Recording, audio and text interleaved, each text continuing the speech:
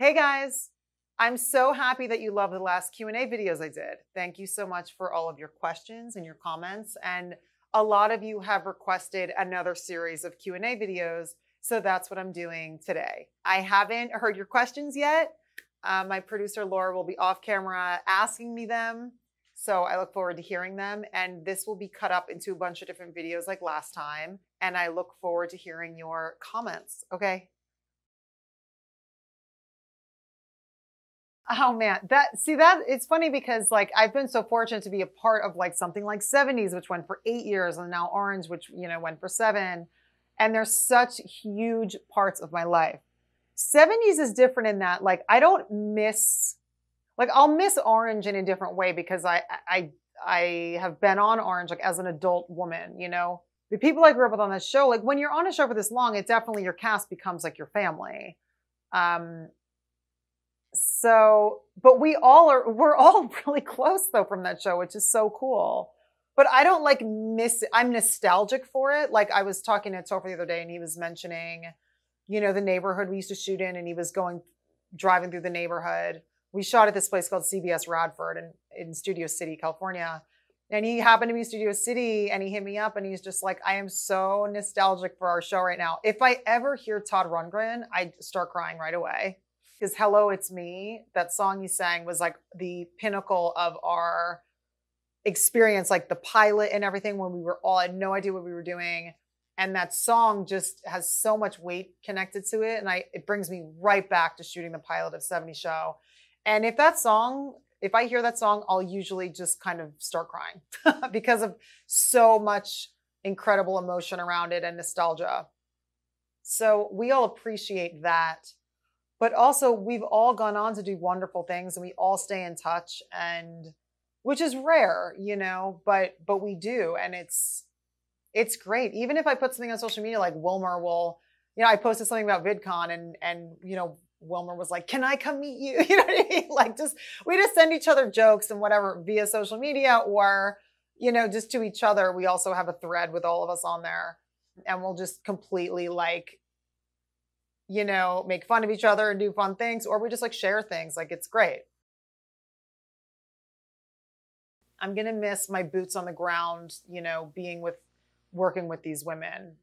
And it is, you know, I've talked about it before, but being on a show that's so special, that's so, you know, we take on such important, amazing issues. And it's also so funny and dramatic. And it walks this beautiful line. There has never been a show like it, and there won't be another show like it again. There'll be other shows that have things similar to it and try to do what we did. But this show really is different. Um, and I love that. And I'm so fortunate to be a part of it. I'm going to miss that. It was very short lived, but it was the first time I played a mom. Like I played um, a woman named Hannah Daniels who had a 10 year old son. And I got to play a young mom on it. And it was just, it was great. I loved that role that whole show was really, really beautiful. I also learned a lot about directing television because that, you know, 70 show was a half hour comedy multi camera. So October Road was an hour long drama. So I learned a lot about directing hour longs, shadowing our main director, Gary Fleder. Um, I learned a lot from him. I went to the editing room with him. He would like show me his storyboards, and I learned a lot from him. So that was really great to kind of have a different viewpoint, especially of directing um, on a show like that that was cool. I didn't used to because it's hard for me to watch things that I'm in. And I know a lot of actors say that, but it's actually true. Like I get to like critiquey of like, oh, I could have done that. Or, you know, a lot of times as an actor, you you work and then later and you do different options. You do many different takes, you do many different options. And I like to try a bunch of different things.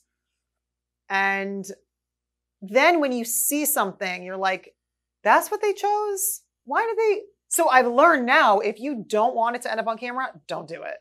As a director, I have to watch it because we get new scripts every episode, obviously, and so many things happen, and there's so many people on our cast.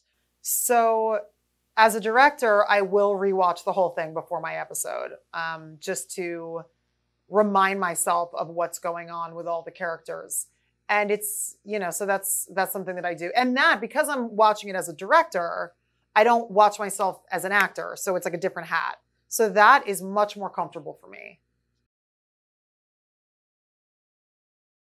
I've gone into auditions where like I look down and my shirt is moving because of my heartbeat because I'm my heart is beating so hard. But the first audition, oh man, I can totally relate and I remember so one thing that I would say is embrace what you're going to do with that role and that those sides that you have in front of you because whatever you do with that is going to be different than anybody else in that room in the waiting room.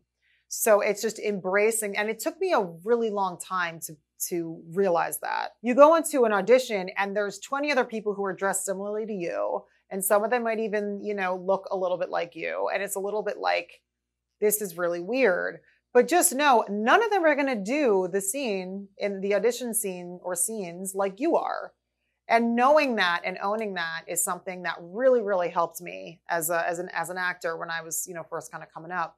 And the other thing too is that, you know, when you finally are, you know, working as an actor, it's it's amazing. I mean, when you're when you finally like, wow, I'm actually like able to pay my bills and survive as an actor, and this is the art that I want to do, and it's you know, it's amazing. So when you go into these auditions, one of the things that I also did was I was like, I get to go in and for 10 minutes do what I love. I get to go in and show these people, I get to go in and act for 10 minutes and like play this role and and do this craft that I love so much. So when I changed my viewpoint in terms of like this is fun for me, I want to I can't wait to get in there and show them what I did with this material. That also really helped me too. So embrace your individuality and change your viewpoint of like instead of I'm scared to go in there or what are they going to think, more like I cannot wait to show them what I did with this. And those are two things that really helped me. She's not going to take anyone's advice. Alex is not going to take advice, trust. The advice I would give to Donna is to get out of this town and go and experience your life and broaden your horizons and see the world. That's what I would tell Donna. And she probably did do that. Thank you guys so much for all of your questions. We're going to cut this up in a few different videos. So subscribe to my channel and turn on notifications so you can know when we post a new one. Thanks so much for watching and see you guys next time.